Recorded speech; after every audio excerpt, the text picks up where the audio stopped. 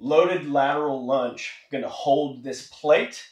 Just like our lateral lunge, I'm gonna shift my hips towards that back corner. So I'm driving that pocket towards the wall behind me. When I get to my bottom, I'm going to press my plate out, bring it back in, press through the whole foot to stand back up, squeezing my butt at the top. Going to shift down, press the plate out, back in, press through the floor, squeeze the hips at the top.